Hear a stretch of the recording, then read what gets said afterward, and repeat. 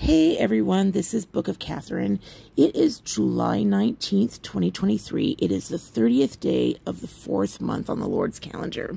And at sunrise this morning in Iceland, which is the beginning of the day, so for them it's the beginning of the 30th day, um, at sunrise, the volcano did something interesting. It began to increase.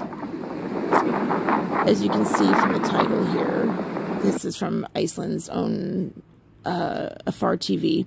So July 19th, it says sunrise at the Iceland volcano. So this is when sunrise begins. And as you can see, uh, the lava begins flowing faster. And also, if you notice in the bottom right hand corner, it says that it is the ninth day, day nine, of the eruption. So not only is it the 30th day of the fourth month, which, mean, which means tomorrow, July 20th, is the new month, the fifth month. Um, but today's also the ninth day of this eruption. So nine, as you know, is three times three. It's completion for the Lord. Well, look what happens just 30 minutes into sunrise as the sun's coming up and over overhead you'll see that this increased eruption starts to lead into the something that I've never seen before and other volcanologists haven't seen before. I'm not a volcanologist, but the volcanologists I follow, they haven't seen this before either. But this enormous crater, it's an absolutely immense crater. As you can see, it's already erupted 10 million cubic meters of lava. So this is being filmed from high up on a ridge. They can't get anywhere near it. But as you can see, the eruption is picking up even more. And where you see it spilling off to the left there, that's the west side of this volcano. And the channel, most of it's going to our right, which is its southern, um, it's a southern exit point. So now the lava started to exit out also off to the west and then the eruption continues to expand as the sun rises higher and higher.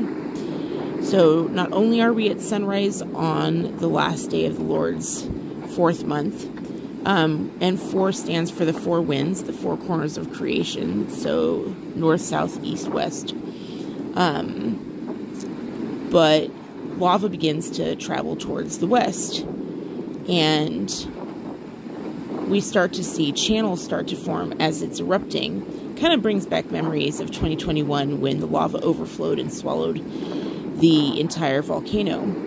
But what's going to happen here is this eruption is going to start pushing so hard that just as the sun finally comes up, you can already see the sun starting to catch the light of the the gas, the volcanic gases that are erupting to the west. They're starting to catch some light. We're being able to see the volcano more clearly. Um, and let's see here. I don't want to. There we go. I just want to make sure that I'm not wasting your time. So what you see is uh, off to the northwest there, we start to see a path of lava that's erupted over. And at first it looks like it's just spilling off to the northwest. But what you'll see is that this it keeps spilling and you realize that there's a crack there, that there's a crack that's formed where lava is spilling out. And now we see another crack start to form. And what you start to realize is that this is not a collapse of the crater, this is an explosion of the crater. And we see the western wall of the crater not just split in half, but it literally falls down off to the west, the entire western portion of that volcano just lifts off to the left. An entire flow of lava just continues. And what's interesting about that is, I'll show you this. So that happened at sunrise on the ninth day. So on the day of, you know, the number of completion, we see something we've never seen in a volcano before. We see it erupt so much that the western wall is shot off basically and it goes down and sinks and two cracks did it a crack to the north northwest and a crack to the west so Um, I'll show you why that's interesting. That's interesting because the of this map here, the western wall of the Yellowstone supervolcano. Remember the crater. Uh, sorry, here, the crater. It, you know what? I can actually use a pen to do this. This is the crater right here. We've talked about this, right? So that's the crater, but what we know is that the magma chamber goes all the way across here, like it's this giant magma chamber that stretches around this far.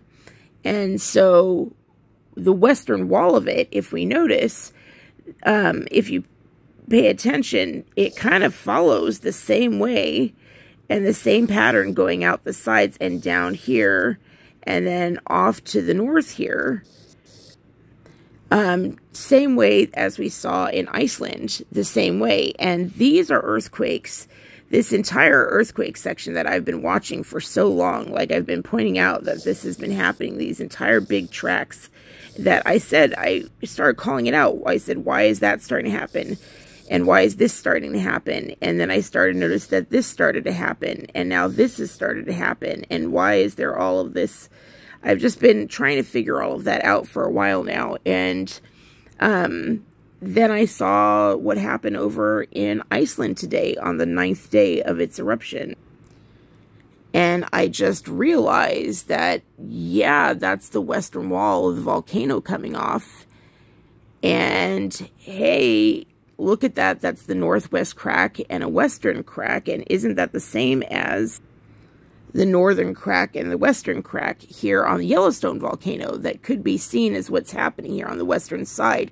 And that would actually match what we heard in Thomas Chan's uh, prophecy, would seem to be the prophecy in the first chapter of Thomas Chan's Adam and Eve story that Ben Davidson illustrates for us on his Suspicious Observers channel. He says the next one will be on the Atlantic, but the way I see things developing is that it's actually Chan Thomas's was a prediction of the future of what was actually coming. So this could be seen as the western flank, and that's in the movie. This is how it ends. Actually, has this scenario, which is why I'm encouraging people all the way to Las Vegas, which is um, Las Vegas is right here, I believe, if I'm not mistaken. So that's Las Vegas. There's a whole line going up to Las Vegas. It's not just there. Or wait, this is Colorado. No, this is Las Vegas uh, right here. Doesn't matter. All the way to Las Vegas, in my opinion. It doesn't matter about my opinion. It's not just my opinion. But basically, my friends and I were evacuating all of us from over there. That also includes Vancouver. Just everyone, you know, in this entire section, we're all evacuating our holdings and getting our friends out. I mean, think about it. San Francisco has already done that, haven't they?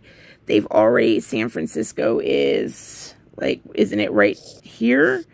And 30 to 40% of the city is gone you know, evacuated. So they know, the people of San Francisco know, you know, or at least that's this. Remember, this entire section right here, this California, remember, the major, the major uh, insurance companies have pulled out. Allstate, Allstate Insurance, and uh, what is it, Allstate for the United States. These are the big players, Allstate and State Farm. State Farm insurance companies, they've nixed California. They won't make any new policies in California at all. And this would explain why. They know that this is what, from the data I've seen, this is sinking slowly into the ocean. And just going slowly, slowly, but that's been increasing as earthquakes are up 19,000%. I mean, no one wants to talk about that, but earthquakes worldwide are up. I've done the calculations. It's minimum 19,000% up worldwide. My actual, my guesstimations after they started hiding and censoring stuff, I actually think they're up 30, um, how should I say, I think they're actually up 30,000%. I think earthquakes globally are up 30,000% since uh, March of, I'd say, 2019. So March 2019, I think they're up about 30,000%. I think that's where we're at. If not, if if not, definitely since March 2020, since COVID for sure. So anyway, they're way up, and so this definitely could happen as much as we don't want it to happen. But of course, in my opinion, the only way out is the New Jerusalem, right? And going to the new earth. So you can talk to the Lord and get out and save yourself. That's the new ark. This is the new ark. Noah's ark was for Noah and his family, but the Lord, through Jesus, has made everyone clean. So anyone who wants to can go on the new ark. That's why this thing is 1,400 miles squared, because it's meant to save billions. So I suggest you go there and you have to ask the Lord in order to go. Um, but that's it. And then you can go. You're, you're already cleansed. And so you just have to ask the Lord to go and follow him and have the guts to follow him. I encourage you to do that. But if you don't have the guts to do that, then can you at least, you know, at least evacuate, you know, and go that direction at the very least. Anyway, that's what my friends and family are doing, and that's what we're recommending to the people we work with. So it's up to you. I love you guys so much. Bye.